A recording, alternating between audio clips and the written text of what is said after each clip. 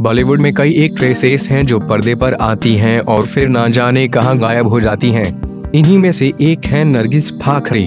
Hot and bold Nargis Fakhri जल्द करने वाली है कम जी हाँ नरगिस अब फिर से पर्दे पर लौट रही हैं।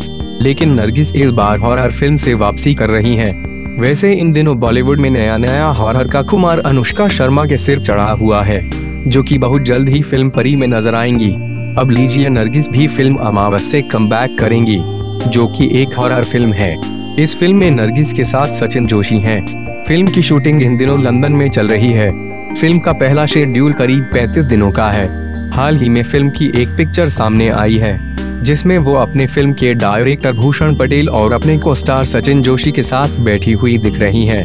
इससे पहले भूषण पटेल ने alone, Ragini M M S दो और उन्नीस ऑबीस कोलन एवल रिटर्न जैसी फ़िल्मों को डायरेक्ट किया है नरगिस हाउसफुल तीन, मद्रास कैफ़े, रॉक स्टार और मैं तेरा हीरो जैसी फ़िल्मों में दिख चुकी हैं। फ़िलहाल देखते हैं कि नरगिस का कम कितना सक्सेसफुल होता है